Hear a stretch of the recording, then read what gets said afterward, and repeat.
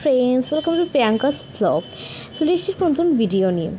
তো, আমরা গিয়েছিলাম হচ্ছে আগের উইক করে দিল্লি, আগ্রা, মথুরা, বৃন্দাবন, এই জায়গাগুলো ঘুরতে। তো, এই জায়গাগুলো, তো কোথায় গিয়েছিলাম, কি কি দেখলাম, কি খেলাম সবটা তোমাদের শেয়ার করব এই ব্লগে তো, তোমরা প্লিজ পুরো ব্লগটা দেখতে থাকো।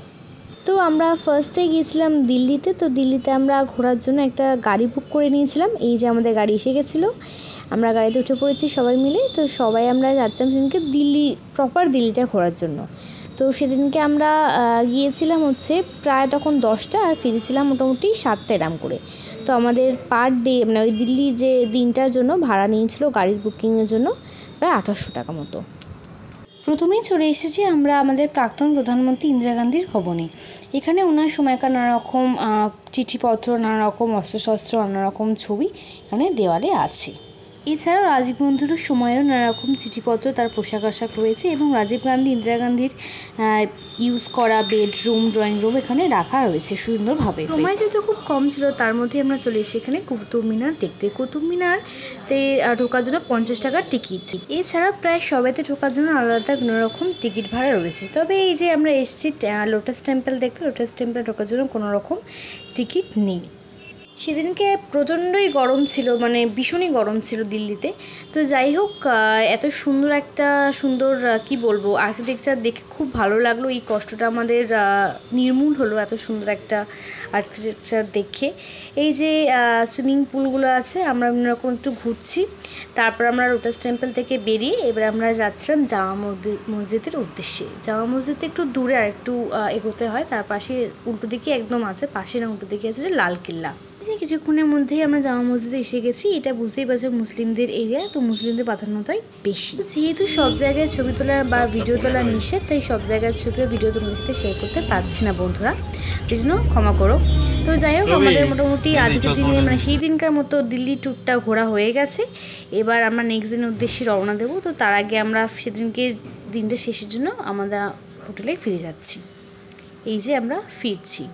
সুন্দর একটা বিকালের ছবিও তার সাথে ওনার সাথে শেয়ার করছি। এই যে আমাদের দিল্লির যেহেতু ট্যুর সেদিনকে হয়ে গিয়েছিল, তারপর আমরা আগ্রার উদ্দেশ্যে রওনা দিয়েছিলাম। আমরা ট্রেনে করে যাচ্ছিলাম, যেহেতু ডিস্টেন্সটা খুব একটা কম নয়, তো অনেকটাই ডিস্টেন্স তো আমরা সেটা প্রাইভেট কার বা বাস না নিয়ে আমরা সোজা ট্রেনটাকেই বেছে নিয়েছিলাম। আমরা আগে থেকে টিকিট আমাদের কাটা ছিল, তো আমার হাজব্যান্ড অনলাইনে কেটে নিয়েছিল বুকিং করে নিয়েছিল, তো এবার আমরা আগ্রা উদ্দেশ্যে রওনা দিয়ে দিয়েছিলাম ট্রেনে করে। এই যে পাশে একটা বন্ধু বন্ধু বলতে গেলে আমাদের হাওড়ার একজন বাসিন্দা পেয়ে গেছিলাম, বাবা গল্প করছিল। তারপর আমরা আগ্রা স্টেশনে নেমেই প্রথমে একটু টিফিন খেয়ে নিয়েছিলাম, আমরা ওখানে ফুড কর্নারে বসে একটু খাচ্ছিলাম। আমরা সেদিনকে খেয়েছিলাম হচ্ছে জুস কোল্ড ড্রিঙ্ক আর আমরা, আমি নিয়েছিলাম মশলা ধোসা, আর আমার হাজব্যান্ড নিয়েছিল মশলা কুলচা। আর বাবা মা যেহেতু তেলের খাবার খায় না তারা ভাত খেয়েছিল। পর আমরা টিফিন খেয়ে বেরিয়ে পড়েছিলাম আগ্রার থেকে আমাদের তাজমহল এবং আগ্রা ফোর্ট দেখার উদ্দেশ্যে। আমরা একটা টোটো বুকিং করে নিয়েছিলাম সব কটা ঘুরে দেখার জন্য। তবে বলব যে আগ্রাটা অতটা গ্যাঞ্জামপূর্ণ সিটি নয়, যেরকম দিল্লি প্রচণ্ড একদম আমাদের কলকাতার মতো। এটা একটু কম লোকালিটিপূর্ণ সিটি এখানে কাছাকাছি কাছে পিঠে স্কুল কলেজ আছে এরকম জায়গা একদম খুব গায়ে গায়ে বাড়ি নেই। এই যে আমি আমার মাদারিনল যাচ্ছি টোটোয় বসে। দুজন মিলে হাওয়া খেতে খেতে। এই যে আমরা পৌঁছে গেছি একদম আগ্রা তাজমহলের বাইরেটা। এখানে টিকিট কাউন্টার আছে, টিকিট কাটা চলছে। আমাদের পার হেড পড়েছিল পঞ্চাশ টাকা করে টিকিটটি যেহেতু সেদিনকে প্রচণ্ডই রোদ ছিল, তো বুঝতেই পারছ সবাই মানে রোদে একদম পুড়ে যাচ্ছিলাম। তো যাই হোক যেটা তাজমহলের সৌন্দর্যের কাছে হার মেনে গেছিল অ্যাট লাস্ট গিয়ে। এই যে তাজমহল আগ্রা আর পাশে যমুনা নদীর একটা অংশ দেখতেও পাচ্ছ তোমরা। এই যেখানে বাগান মতোও আছে। তো এটাই আমাদের একদম সপ্তম আশ্চর্যের একটা অন্যতম তাজমহল শাহজাহানের বানানো। এই যে যমুনা নদীটা পুরোপুরি আরও ভালোভাবে তোমাদের দেখিয়ে দিলাম। এটা হচ্ছে যমুনা নদী। এটা একদম তাজমহলের পেছনের দিকটা থেকে তোমাদের দেখাচ্ছি। তো যমুনা নদীটা তোমরা বুঝতে পারছ নোংরা হয়েছে কিন্তু যমুনা নদী একটা আলাদাই একটা নস্টালজিয়ার মধ্যে আছে। যেমন ঠিক গঙ্গার মধ্যে আছে আমাদের। মহল তো আমাদের দেখা হয়ে গেল তারপর আমরা চলে আসলাম টোটো নিয়ে ওই যে টোটো যে বুকিং বুকিং করেছিলাম তার সঙ্গে চলে এলাম হচ্ছে আগ্রা ফোর্টে। আগ্রা ফোর্ট হচ্ছে মোগল আমলের একটি অন্যতম ফোর্ট। এই যে পুরো ফোর্টটা উঁচু পাঁচিল এবং পরীক্ষা দিয়ে ঘেরা আছে তার পাশ দিয়ে আমরা যাচ্ছি। তো আমরা টিকিট কেটে ঢুকে পড়েছি। এর টিকিট হচ্ছে সেম পঞ্চাশ টাকা। তো প্রথমেই তোমাদের নিয়ে চলে এসেছি শীষমহল। হচ্ছে শীষমহল। তো বন্ধুরা সরি তোমাদেরকে আমি সবটা শেয়ার করতে পারলাম না। এর আগেও যেহেতু বলেছিলাম যে সব জায়গায় ভিডিও বা ফটো তোলা নিষেধ। তো যাই হোক, আমি চেষ্টা করেছিলাম, কিন্তু আলটিমেটলি পারিনি। তো সরি তো তারপর আমরা আগ্রা ফোর্ট থেকে বেরিয়ে চলে যাচ্ছিলাম কয়েকটা আরও জায়গায় ঘুরতে। তার মধ্যে ছিল অন্যতম মিনা বাজার। একটা দোকানে গিয়েছিলাম যেখানে খুব সুন্দর মোরাব্বা, মোরব্বা পাওয়া যায়। যেহেতু আগ্রার বিখ্যাত মোরব্বা, তো সেখানে তো সেটা গেলে খেতেই হবে। তো যে দোকানে চলে এসেছিলাম, বাবা মা আর আমার হাজব্যান্ড টেস্ট করছিল কীরকম খেতে মোরব্বাগুলো। ওখান থেকে আমরা নিয়ে নিয়েছিলাম এই বিভিন্ন রকম মোরব্বা। তারপর যেহেতু শর্ট ট্রিপ ছিল, আগ্রা শেষ করে চলে এসেছিলাম আমরা থার্ড ডেতে হচ্ছে বৃন্দাবনে ঘুরতে। তো বৃন্দাবন একটা মন্দিরে গিয়েছিলাম, তারপর চলে এসছে এই যে আমাদের কৃষিঘাটে। কৃষিঘাট বৃন্দাবনের খুব বিখ্যাত একটি ঘাট। এইটা না দেখা মানে হচ্ছে বৃন্দাবন মানে ঘোরা ইনকমপ্লিট রয়ে যাবা তো এটাই খুব সুন্দর একটা ঘাট। তারপর আমরা একটু বিকালবেলা ঘুরতে বেরিয়েছিলাম, তো পরের দিনকে, তার পরের দিনকে ফোর্থ ডেটে এইটা এসছি আমরা হচ্ছে শীষমহল। শীষমহল হচ্ছে পুরোটাই কাঁচের কাজ করা একটা মন্দির খুব সুন্দর একটা মন্দির। তো খুব সুন্দর, খুবই সুন্দর। তারপরেই আমরা চলে এসেছিলাম টোটো, ওখানেও আমরা টোটোই একটা ভাড়া বুকিং করেছিলাম, ভাড়া নিয়েছিলাম আর কি একেবারে। এই যে এসেছি আমরা একটা শেরওয়ালি অর্থাৎ বৈষ্ণব দেবীর মন্দিরে। এখানে এই মন্দিরটা বৈষ্ণব দেবীর আদলেই তৈরি করা হয়েছে আর খুব খুব খুব সুন্দর করে তৈরি করা হয়েছে। দারুণ দারুণ মানে অনবদ্য।